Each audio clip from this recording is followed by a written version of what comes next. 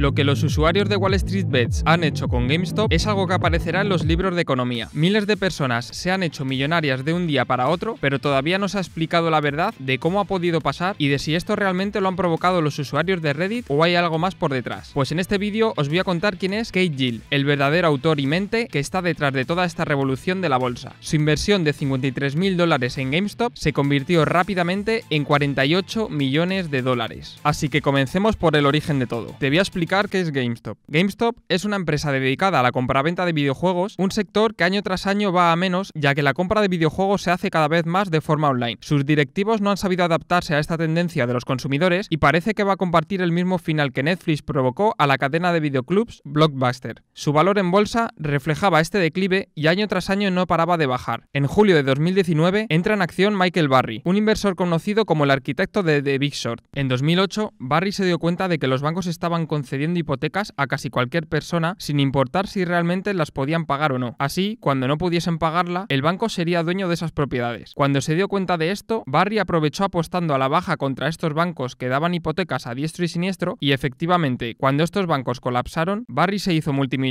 apostando contra el sistema. Se calcula que su beneficio fue de 800 millones de dólares, una historia tan legendaria que recrearon en la película llamada La Gran Apuesta. Pues bien, Barry, que se ha labrado un nombre luchando contra gente importante de Wall Street, identificó un valor pasado por alto por los inversores que prácticamente habían renunciado a él, GameStop. Las adquisiciones fallidas, la gestión mediocre y la preferencia de los clientes por descargar los juegos en lugar de comprarlos en las tiendas habían reducido casi un 70% del precio de las acciones. Pero con GameStop cotizando cerca de sus mínimos históricos, Barry se fijó en que GameStop tenía 480 millones de dólares en efectivo. Cuando estudió las cuentas, decidió que su firma de inversión de la que es dueño comprase 1.700.000 acciones gastando alrededor de 15 millones de dólares y escribió una carta a la junta directiva de GameStop exigiendo que reviertan la aceleración del declive de GameStop recomprando acciones de su misma empresa para así aumentar el beneficio por acción. Eso podría triplicar la recompensa financiera para los accionistas. Y me explico. Si una empresa tiene beneficio de 1.000 euros al año y hay 1.000 acciones en circulación, cada acción tocará a un euro de beneficio. Pero si en vez de 1.000 acciones la empresa recomprase y solo hubiese 500 acciones en el mercado, el beneficio por acción sería de 2 euros y así sucesivamente. Además, Barry sabía que más del 50% de las acciones en circulación eran inversiones en corto. Esto es cuando pides prestada una acción al broker para venderla, imagínate, a 10 dólares, más tarde la recompras más barata a 5 dólares, por ejemplo, la devuelves al broker y tú te quedas con la diferencia. Pero si el precio del valor, en vez de bajar, lo que hace es subir, el broker te obliga a comprar al precio que sea al que esté la acción para devolvérsela y tú pierdes dinero. Dos meses después, el 8 de septiembre de 2019, entra en acción un usuario de Reddit conocido como Deep Fucking Value, el cual publicó en el foro de Reddit Wall Street Bets una foto en la que mostraba una sola inversión de 53 mil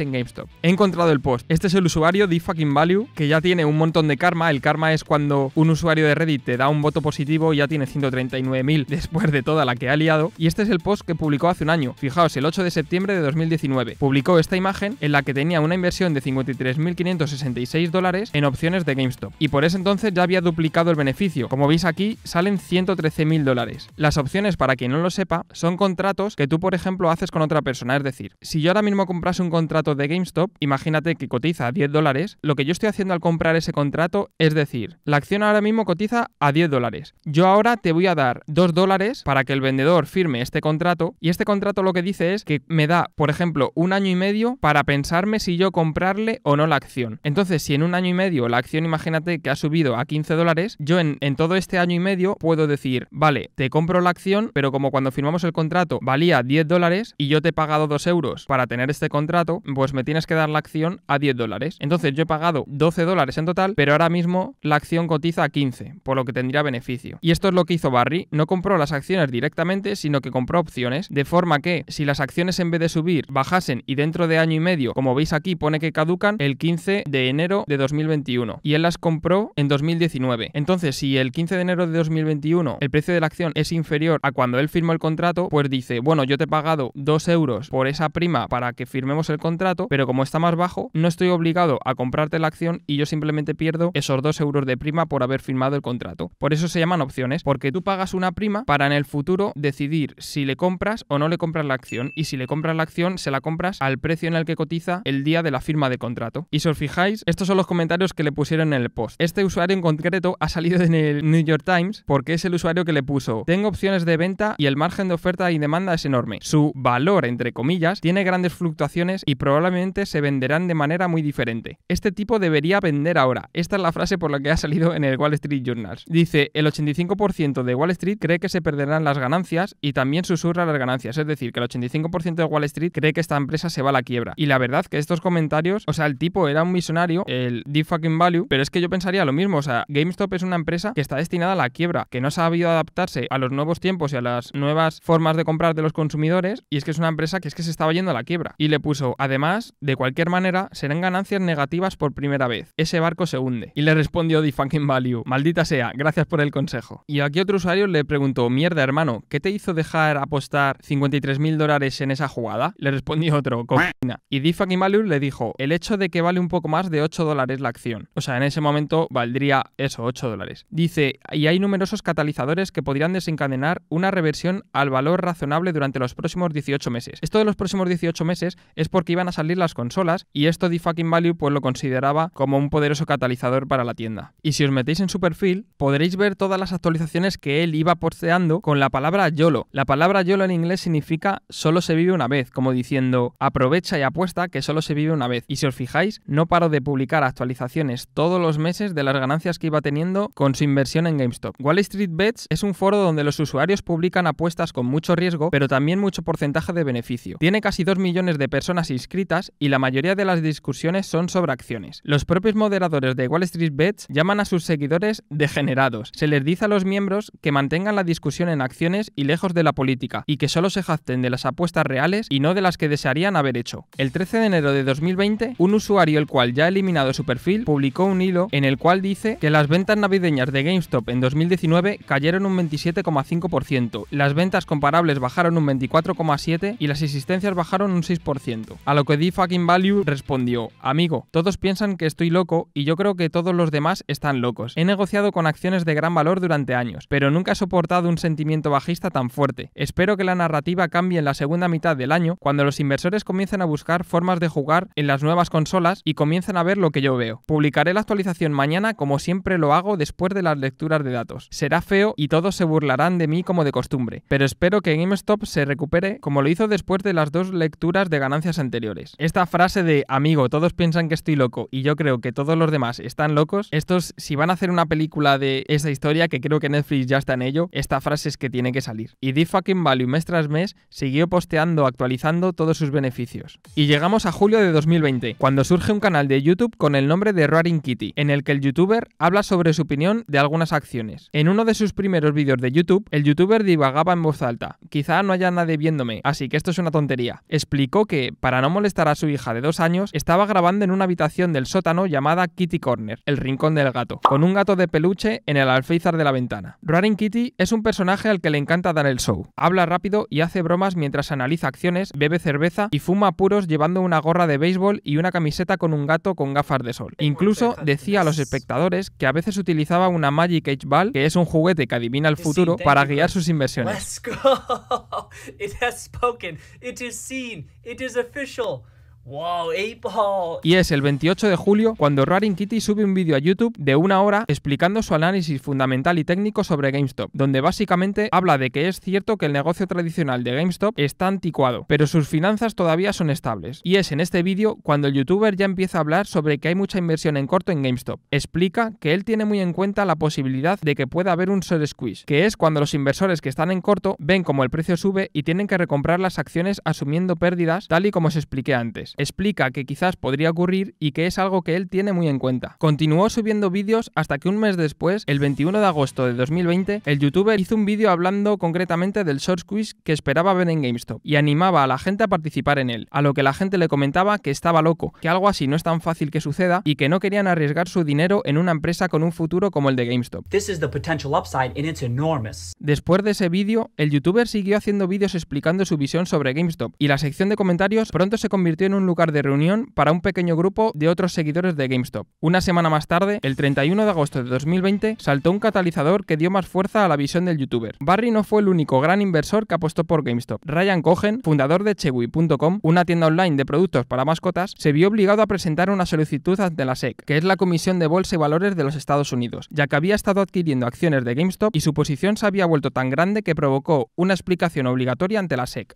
El tamaño de su posición, 9 millones de acciones. Gastó un promedio de 8,44 dólares por acción, una posición que constituía aproximadamente el 10% de la empresa. En total, Ryan invirtió 76 millones de dólares en acciones de GameStop. Semanas más tarde, el 22 de septiembre de 2020, como de costumbre, Deep Fucking Value publicó en Wall Street Bets que el valor de su inversión ya estaba valorado en un millón y medio de dólares. En noviembre, Ryan publicó una carta pública a la junta directiva de GameStop en la que criticaba el desempeño de la compañía. En ese momento, el precio de las acciones de GameStop era de alrededor de 10 dólares. Cinco años antes, el precio de las acciones rondaba los 30. En la carta decía, desgraciadamente, es evidente que GameStop carece actualmente de la mentalidad, los recursos y el plan necesarios para convertirse en una empresa dominante del sector. GameStop tiene que evolucionar hacia una empresa tecnológica que deleita a los jugadores y ofrezca experiencias digitales excepcionales, y no seguir siendo un minorista de videojuegos que da demasiada prioridad a su presencia en tiendas físicas y tropieza con el ecosistema online. Las acciones de GameStop han bajado un 85% en los últimos 5 años y llegamos a diciembre de 2020. La esposa del youtuber fue vista cuando su mano apareció en una transmisión en vivo, brindando con él para celebrar que las acciones de GameStop habían alcanzado los 20 dólares. El youtuber llevaba un sombrero rosa y gafas de sol y bebían lo que parecía ser champán. Dijo en el vídeo, ciertamente no conduzco un Lamborghini, alquilamos esta casa que ven, así que ha sido un viaje de locos para nosotros como familia. Como diciendo que todo esto que tienen no es algo heredado, sino que han estado trabajando en ello. Mientras, en el foro de Reddit Wall Street Bets, el usuario de Fucking Value, como dije, seguía publicando posts cada mes con capturas de pantalla de cómo iba su inversión y para el 25 de diciembre de 2020 ya valía más de 3 millones y medio de dólares. Ante la carta que envió Ryan, el 11 de enero de 2021, GameStop emitió un comunicado donde explican que han decidido incorporar a Ryan y otros dos compañeros suyos de Chewy a la junta directiva de GameStop para así acelerar la transformación que GameStop necesitaba y querían hacer cuanto antes. Con esta noticia, las acciones de GameStop subieron y D-Fucking Value publicó una imagen en la que su inversión valía 3.158.000 dólares, y los usuarios le felicitaban por estar todavía dentro de la jugada y no vender ninguna acción.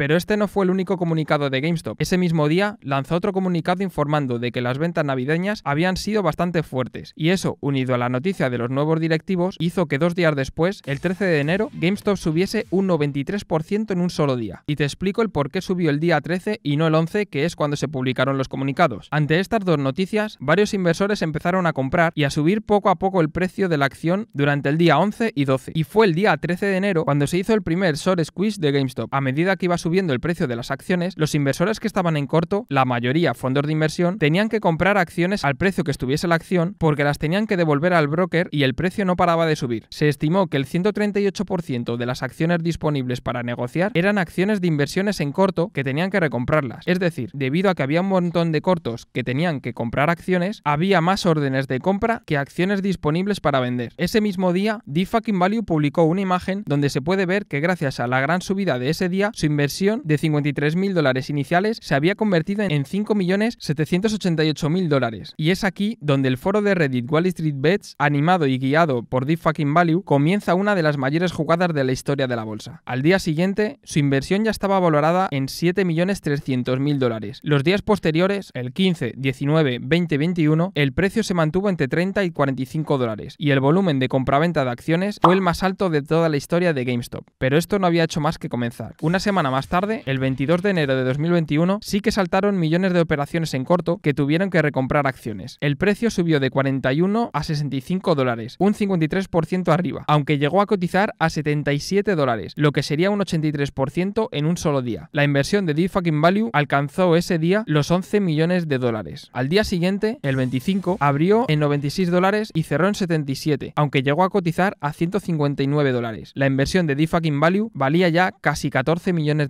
En este día, Citron, uno de los fondos bajistas que apostó en contra de GameStop, estaba recomprando acciones y dijo que esto no le preocupaba y que las acciones volverían a los 20 dólares por su dependencia a las tiendas físicas y a la constante caída de sus ventas. Andrew Lev, socio gerente de Citron Research, dijo, la cantidad de personas que sienten tanta pasión para revalorizar a GameStop no tienen ningún fundamento.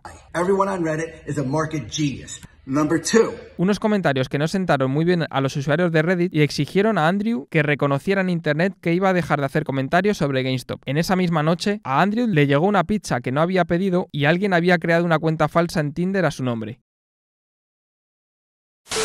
El 26 de enero abrió en 88 dólares y cerró en 148 dólares. Este día se vio impulsado debido a que Elon Musk, CEO de Tesla, tuiteó GameStonk con un enlace al foro de Reddit Wall Street Bets. La inversión de D-Fucking Value ya valía 22,8 millones de dólares. Al siguiente día, el 27 de enero, abrió a 355 dólares y cerró en 346. Andrew Lev Hi, this is Andrew Left at Citron Research. Publicó un vídeo en el canal de YouTube de Citron explicando que Citron acababa de cerrar todas las posiciones de GameStop. La jugada les había costado miles de millones de dólares.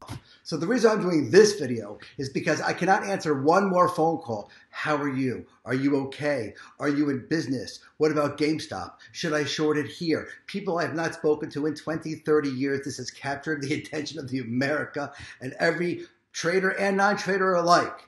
Y es en este día cuando la inversión de Fucking Value alcanzó su máximo histórico. Con una inversión inicial de 53 mil dólares, había conseguido 48 millones de dólares. En este día en concreto, ganó 20 millones de dólares. Esta es la publicación de Fucking Value, fijaos, tiene 250 mil votos. Todos estos premios, que son incluso premios de pago, y la gente ha pagado para felicitarle. Esta es la publicación que hizo con los casi 48 millones de dólares de beneficio. Y los comentarios, pues os podéis imaginar. Escuché a este tipo. En este punto, esos cabrones podrían contratar gente para secuestrarte, refiriéndose a los fondos de inversión a los que había arruinado. Y otro comentario con 9.000 votos arriba le dijo, todavía está dentro. O sea, es que el tipo no vendía las acciones, todavía estaba dentro. Y este comentario que también ha salido en algún periódico, que dice, si él está dentro, estamos dentro. Como diciendo, si él está aguantando, tiene 47 millones de dólares y todavía no está vendiendo, si después de toda la que está dentro y no vende acciones, nosotros también vamos a aguantar. Y no vamos a vender ninguna. Manos de diamante, como diciendo tienes 48 millones de dólares y todavía no vendes, o sea, eres un crack. Otro comentario le dice 50 millones de dólares. Literalmente es increíble. He estado aquí desde que cruzó la barrera del millón de dólares y ni siquiera tengo palabras para esto. Este es un nivel de convicción que rara vez he visto por nadie, en ningún lugar, para nada. Todos saluden al rey. Es que imaginaos tener 48 millones de dólares y decir, es que no vendo. Estoy tirando fondos de inversión a la quiebra y es que no quiero vender acciones. Quiero que esto suba y suba todavía muchísimo más. Es impresionante. Al día siguiente, el 28 de enero, abrió en 264 dólares y la cotización de GameStop alcanzó en este día el máximo en toda su historia, 483 dólares por acción. Pero casi de inmediato, las acciones de GameStop se desplomaron, cayendo un 75% en 90 minutos. Y el porqué de esta caída es uno de los mayores revuelos que ha asistido con un broker en toda la historia de la bolsa. Aquí entra en escena Robinhood, un broker desde el que se negocian acciones a través de su aplicación sin apenas comisión y que usan millones de pequeños inversores en Estados Unidos y en todo el mundo. Robinhood decidió prohibir la compraventa de acciones de GameStop y más tarde lo haría con otros valores más. Si queréis saber detalladamente el motivo por el que pasó, lo explico en este otro vídeo que os aparecerá arriba o al final de este vídeo, pero voy a intentar resumirlo brevemente. Citadel es un market maker. Esto es una empresa la cual hace de mediador entre alguien que quiere vender una acción y otra persona que quiere comprar. Bien, pues Melvin Capital, que es uno de los fondos que estaba en corto en GameStop y tenía que recomprar acciones, pidió ayuda a Citadel ya que se estaba yendo a la quiebra y este invirtió dinero en Melvin Capital para salvarle de la bancarrota. Bien, teniendo esto en cuenta, ahora hay que saber que Robinhood, cuando por ejemplo tiene a alguien que quiere comprar una acción por 10 dólares y no encuentra a nadie entre sus usuarios que la quiera vender, acude a Citadel y Citadel le dice, mira Robinhood, yo tengo a alguien que quiere vender la acción que tu usuario quiere también a 10 dólares, pero en tu aplicación vas a poner que la acción vale 10,2 dólares y yo le diré a mi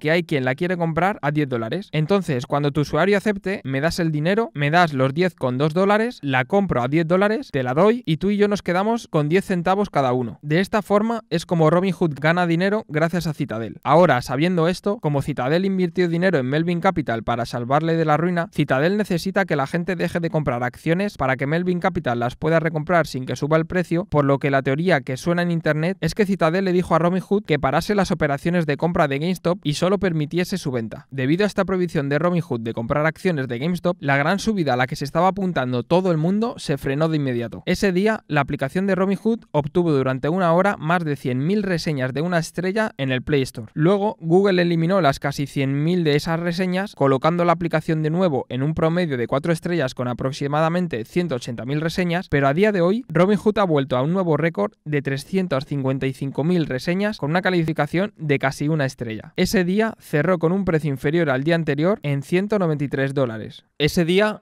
la cuenta de Fucking Value bajó de 48 millones de dólares a 33 millones de dólares, perdió en un solo día 14,8 millones de dólares. A partir del día siguiente, el 29 de enero, la subida ya había perdido fuerza. Los fondos institucionales estaban al borde de la quiebra y con la prohibición de Robinhood de operar GameStop comenzó a bajar. En ese día os voy a poner un fragmento del vídeo que hice en su momento donde se ven cómo los usuarios de Wall Street Bet, a medida que comentaban más y más sobre determinadas empresas en el foro, el precio de sus acciones a los pocos días comenzaba a subir. AMC, GameStop, Nokia y BlackBerry son actualmente las acciones más discutidas en Wall Street Beats, eclipsando a Tesla, que durante mucho tiempo ha dominado la conversación entre sus miembros. AMC y GameStop representan más del 25% de los comentarios recientes en Wall Street Beats, y Nokia representa más del 20%. En este gráfico sacado de la página Swaggy Stocks podéis ver en tiempo real el sentimiento de los comentarios de Wall Street Beats, donde GameStop y AMC son las dos empresas sobre las que más se está hablando ahora mismo en Wall Street Beats. ¿Veis aquí? ¿Veis el gráfico? Esta es GameStop, esta es AMC y le sigue Nokia y BlackBerry. Luego, por ejemplo, Tesla es esta de aquí. Y en este de otro gráfico podéis ver cómo, por ejemplo, mira, a partir del 13 de enero, que fue cuando los inversores empezaron a hablar en el subforo de Reddit, esta línea azul es los comentarios sobre GameStop. Ves que subió, pero esta línea amarilla es el precio de GameStop, ¿vale? Empezaron a hablar un montón, luego bajaron, luego volvieron a hablar sobre GameStop y ya fue a partir de cuando el día 25-26 se disparó. Es que aquí se ve perfectamente cómo a medida que se iba hablando en el subforo de Reddit, en Wall Street Beach, días después el precio se disparó. O sea, qué bestialidad, cómo han movido el mercado los de Wall Street Beats. Y aquí el gráfico de AMC, ¿vale? AMC es una, es una cadena de cines que también, pues evidentemente ahora con la crisis del coronavirus ha estado a punto de quebrar, aunque recientemente han avisado de que no, no van a quebrar, pero han estado a punto. Y era otra de las empresas de las que Wall Street Beats, pues iba a ir en contra de todas las instituciones que estaban en corto. Y aquí veis cómo en esta gráfica el precio sube también a medida que suben los comentarios en el subforo de Reddit sobre AMC. AMC en concreto, del martes al miércoles, en un solo día subió un 306%. O sea que con una inversión de 10.000 euros, en un solo día, en unas horas, se convertirían en 30.000. Y es aquí cuando viene el giro a la historia. El hombre detrás de las transmisiones de Roaring Kitty y del usuario Fucking Value es la misma persona, Kate Patrick Gill, un hombre de 34 años, casado y con una hija, que vive en una casa en Wilmington, Massachusetts. Hasta hace poco fue asesor financiero en Mass Mutual, una compañía de seguros de vida. El Daily Mail pudo estar establecer la identidad de Jill a través de su empresa Roaring Kitty LLC, que comparte el mismo nombre y correo electrónico que su cuenta de YouTube Roaring Kitty. La firma se incorporó en 2014 en Concord, New Hampshire, pero se disolvió 10 meses después. Los documentos de la empresa enumeran a Jill como su único agente y describen el propósito de la empresa como proporcionar servicios de asesoría de inversiones. Este día de madrugada, Kevin Jill, el hermano de Kate, según un perfil online del colegio, pareció verificar que Roaring Kitty y The Fucking Value son la misma persona, es decir, su hermano Kate, y dijo al Daily Mail, mm, sí, entonces mi hermano es un poco famoso ahora. Y al día siguiente, el 1 de febrero, su inversión aún valía 22 millones de dólares. En el hilo de su publicación, el comentario más votado es, la leyenda no vendió ni una opción hoy, manos de diamante. Otro comentario que dice, solo estoy aquí para ser parte de una jodida historia profunda. Mantén, es decir, no vende una acción ni loco. Otro comentario le dice, esa será una sección en los libros de texto de matemáticas en 10 años. Y otro comentario que también ha salido en los periódicos es este de aquí que dice, si aún está dentro, estoy dentro. A día de hoy, su última publicación es del 3 de febrero, donde su inversión valía 22 millones de dólares. En su canal de YouTube Roaring Kitty, el último vídeo es del 23 de enero de 2021, donde aparece celebrando que GameStop cotiza 63 dólares, y desde entonces no ha vuelto a publicar un vídeo. La Comisión de Bolsa y Valores de los Estados Unidos y la Reserva Federal tienen pensado en investigar a Jill, pero a día de hoy todavía no se sabe nada. Jill contó a The Wall Street Journal que no esperaba todo esto, que jamás se imaginó llamar la atención del Congreso, la Reserva Federal, los fondos de cobertura y los medios de comunicación. Dijo, esta historia es mucho más grande que yo. El creador de Wall Street Bets, Jaime Rogozinski, dice que a pesar de no haber participado en la subida, está muy orgulloso del foro que creó. Lo creó en 2012, con el fin de crear un foro para que los jóvenes inversores compartiesen ideas comerciales, especialmente aquellas de mayor riesgo. Más de 8 años después de su creación, se ha convertido en el subreddit de comercio más grande y una de las comunidades en línea más populares para aquellos que se inician en bolsa. Aunque Rogozinski ya no pertenece a Wall Street Bets, fue despedido por monetizar el éxito. Lo estuve haciendo hasta abril del año pasado, eh, cuando hubo un tema con, con, Reddit en donde no me han contestado directamente, desafortunadamente, pero dicen que eh, habían unas reglas que rompí en, en base al acuerdo que se tiene con los usuarios de su plataforma. Pese a que durante estos ocho años Rogozinski se ha mantenido como líder de la comunidad, en abril de 2020 fue destituido como moderador. El motivo no fue otro que el voto del resto del foro en su contra por considerar que había monetizado el éxito. Y esta es la historia de cómo Kate Gill convirtió una inversión de 53 mil dólares en 48 millones de dólares. Pero como siempre pasa en la bolsa, hay ganadores y perdedores. El dinero no crece de los árboles y si alguien gana dinero es porque otro lo está perdiendo. La cosa es que los perdedores de esta historia son peces gordos, fondos de inversión que mueven al mercado, aunque no lo suficiente si se juntan muchos inversores con agallas en un foro online. Aquí te dejo un vídeo donde explico que GameStop no ha sido la única empresa objetivo de Wall Street Bets, sino que otras empresas como AMC o BlackBerry también han sido impulsadas con este movimiento. Además, en este vídeo explico que no todo ha sido un camino de rosas para los inversores, ya que en el día 27 de enero, como he contado antes, el broker Robinhood no dejó operar a quienes pretendían hacerlo. En el vídeo también aparece cómo un chico después de estas medidas de GameStop cogió su propia avioneta con un mensaje que decía chúpame las pelotas, Robinhood, y lo mostró por todo San Francisco, donde están alojadas las oficinas de Robinhood. Esto y mucho más lo explico en ese vídeo. Si te ha gustado, te agradecería muchísimo que le dieses a like, ya que me ha costado más de una semana recopilar toda la información, ordenarla para poder hacer este vídeo. También te agradecería muchísimo que dejases un comentario diciendo tanto lo bueno como lo que no te ha gustado y si no estás suscrito, aldo porque todavía es gratis y dale a la campana para que te avise cuando suba el próximo vídeo. Cualquier cosa ya sabéis, dejádmela en los comentarios e intentaré responderos a todos. Un saludo.